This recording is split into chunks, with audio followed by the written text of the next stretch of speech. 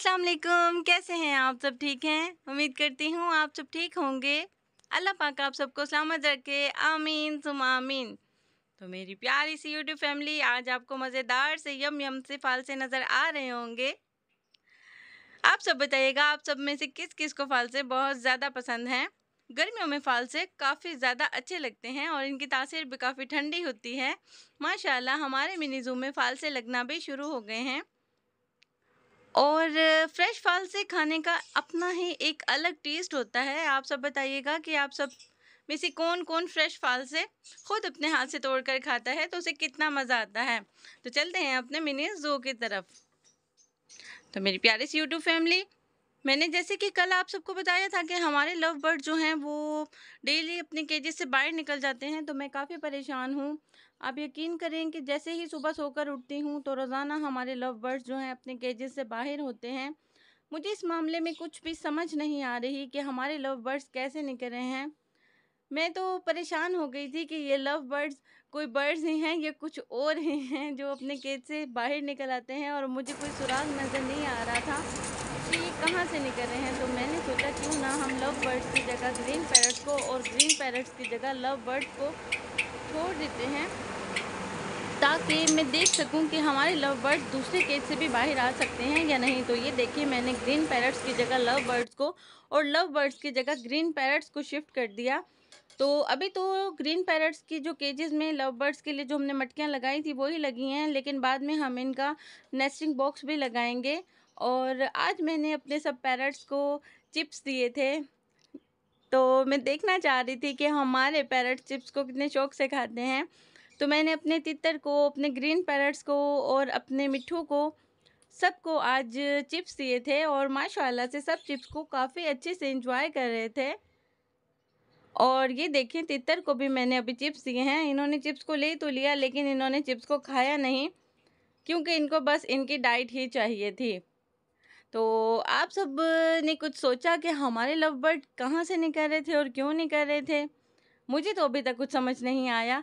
लेकिन जब से मैंने इनकी शिफ्टिंग की है, तब से कुछ सुकून तो है, लेकिन डेली तीन से चार लव बर्ड्स जो हैं अपने केजी से बाहर आ जाते हैं तो काफ़ी टेंशन हो जाती है। ये तो शुक्र है कि मैं अपनी ग्रिल वाला जो डोर है, उसे लॉक रखती हूँ कि कोई भी बर्ड कोई भी हमारा पैरट निकल ना जाए। तो उसकी वजह से एक तरह से मुझे, मैं पाबंद हो गई थी।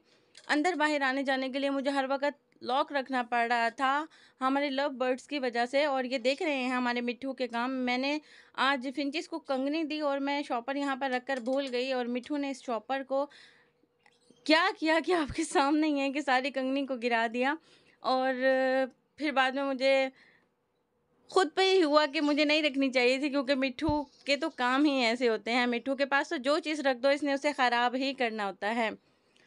और हमारे लव बर्ड्स यहाँ पर शिफ्ट होकर भी काफ़ी ज़्यादा प्यारे लग रहे हैं और ग्रीन पैरट्स भी वहाँ पर काफ़ी अच्छे लग रहे हैं। लेकिन एक टेंशन की बात ये है कि हमारे ग्रीन पैरट्स जो हैं अब आपस में लड़ना शुरू हो गए हैं। पहले तो आपस में बिल्कुल नहीं लड़ते थे और ये देख रहे हैं, हमारी ये बिल्ली जो है ना, हमारे मिनी जू में बहुत ज़्यादा आने लगी है। पता नहीं ये कहाँ से आती है। इसने हमें बहुत परेशान किया हुआ है और ये देखें कितने हटदर्मी से इसे पता है कि मैं इसे देख रही हूँ। लेकिन ये फिर भी मज़े से यहाँ पर पानी पी रही है। दरअसल जब से इन्होंने हमारे किटन्स देखे हैं तो दो से तीन बिल्लियाँ हैं जो बिल्कुल ही इनके पीछे लगे हुए हैं कि बस इनको पकड़ लें।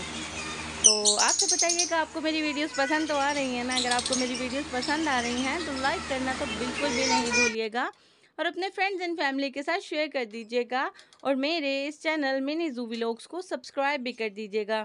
तो माय यूट्यूब फैमिली, अभी तो हमारे जो न्यू केजेस हैं इनके काफ़ी ज़्यादा बॉक्सेस अभी फ्री हैं, जिसमें अभी हमने बहुत ज़्यादा बर्ड्स लाने हैं और उनकी यहाँ पर शिफ्टिंग करनी है। लेकिन अभी फ़िलहाल आप सबको मेरे साथ कुछ वेट ही करना पड़ेगा। उसके बाद ही इन हमारे बॉक्सेस रिफ़िल हो जाएँगे और काफ़ी प्यारे भी लगेंगे।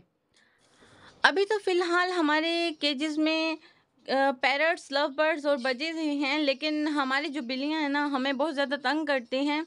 फ्रेंड्स घर में जो बच्चे हैं ना, वो बिल्लियों को बहुत ज़्यादा उठाते हैं और अभी इनकी वैक्सीन भी होनी बाकी है तो मैंने सोचा क्यों ना कुछ टाइम के लिए हम इनको भी केजेस में बंद कर दिया करें। जैसे दिन में ये तीन से चार घंटे सोती हैं तो इनको अगर केजेस में छोड़ दिया जाए तो ये वहाँ पर रिलैक्स हो जाया करेंगे और इवनिंग में और नाइट में ईज़ी से अपना बाहर फिर लिया करेंगी। तो आप सब इस बारे में मुझे ज़रूर बताइएगा कि क्या हमारी इन किटन्स को केजेस में छोड़ना अच्छा है या नहीं। एक्चुअली जब तक अभी इनकी वैक्सीन नहीं होती तो हमें थोड़ी सी केयर करनी चाहिए, क्योंकि जब इनके बाल गिरना शुरू होते हैं तो वो डेंजर होते हैं तो हमें खुद ही केयर करनी होगी। तो इस वजह से मैं मैं अभी जब से इन्होंने बाल गिराना शुरू किए हैं तो मैं दो से तीन दिन से इनको केजेस में बंद कर देती हूँ, ताकि हम सब इनके बालों से एटलीस्ट महफूज रह सकें। तो आप सब मुझे इस बारे में अपने राय का इजहार ज़रूर दीजिएगा और ये हमारे मिट्ठू कितने प्यारे लग रहे थे। मैंने सोचा क्यों ना आप सबके साथ इस क्लिप को शेयर किया जाए कि हमारा मिट्टू बैठा हुआ कितना प्यारा लग रहा था। तो माय यूट्यूब फैमिली, अब हम चलते हैं कि हमारे जो लव बर्ड्स हैं, उनका सुराख लगाते हैं कि वो निकल कहाँ से रहे थे। जब मैंने अपने ग्रीन पैरट्स को इस केज में छोड़ा तो फिर मैंने देखा कि हमारा जो एक ग्रीन पैरट है, वो अपनी नेक को बाहर निकाल रहा था। तो मैंने सोचा कि अपनी नेक को बाहर कहाँ से निकाल रहा है तो फाइनली हमें सुराग मिल गया कि हमारे जो लव बर्ड हैं, वो कहाँ से निकल रहे थे। तो ये देखें, यहाँ से हमारे लव बर्ड निकल रहे थे और हमें पता नहीं चल रहा था। मिलते हैं आपसे कल न्यू वीडियो न्यू बिल्लो के साथ। अल्लाह हाफिज़।